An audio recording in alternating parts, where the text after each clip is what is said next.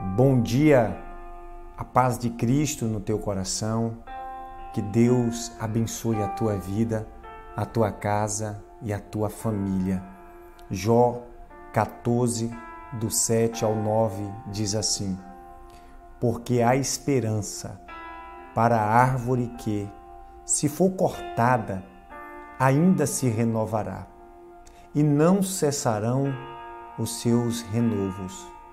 Se envelhecer na terra a sua raiz e o seu tronco morrer no pó, ao cheiro das águas brotará e dará ramos como planta nova.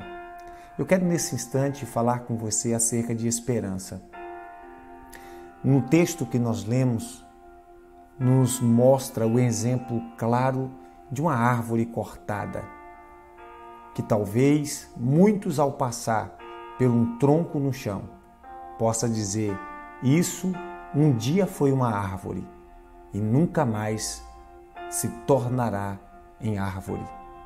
Isso porque vê apenas o tronco, quem sabe sem vida aparente. No entanto, aqui Jó expõe para nós que ainda assim há esperança. A nossa vida é muitas vezes exemplificada por esse tronco cortado, por esta árvore cortada. Aparecem pessoas que querem nos cortar. Aparecem circunstâncias que tendem a nos cortar. Aparecem problemas, adversidades e lutas que muitas vezes até nos corta. E tem pessoas também que se aproximam de nós e nos corta e diz: ele já era, ela já era. No entanto, precisamos entender e precisamos compreender com muita profundidade que quando muitos pensam que é o nosso fim, Deus manda a sua chuva, uma chuva que produzirá em nós ramos novos e nos dará força nos dará um novo tempo, uma nova perspectiva, uma nova aparência.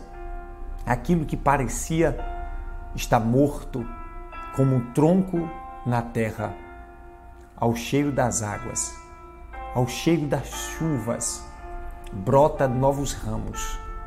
Não se deixe morrer. Há um tempo novo de Deus para a tua vida. Há uma chuva que Deus quer fazer cair sobre você. E esta chuva de Deus fará com que você seja renovado, renovada.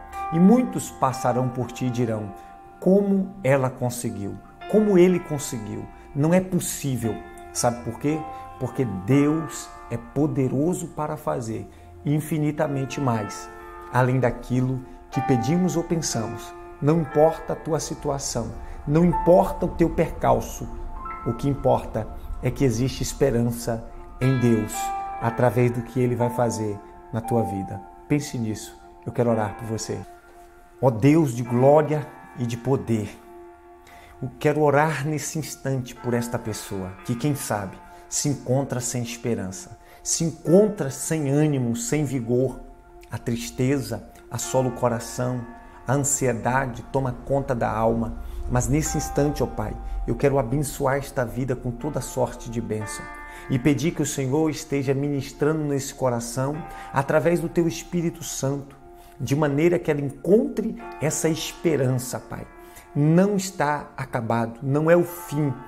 E ela precisa entender este princípio, que o Senhor é poderoso para mandar uma nova chuva, trazendo um renovo a esse coração e a esta vida.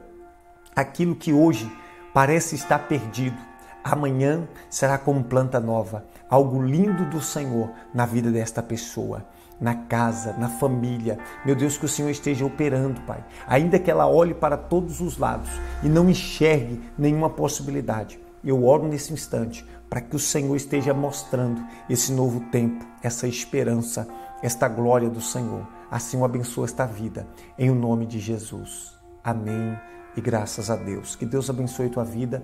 Eu sou o pastor Cristiano Leal e esta foi mais uma oração da manhã do canal Palavra Online, um canal de Deus para a sua vida. Se você ainda não é inscrito, já corre e se inscreve agora mesmo.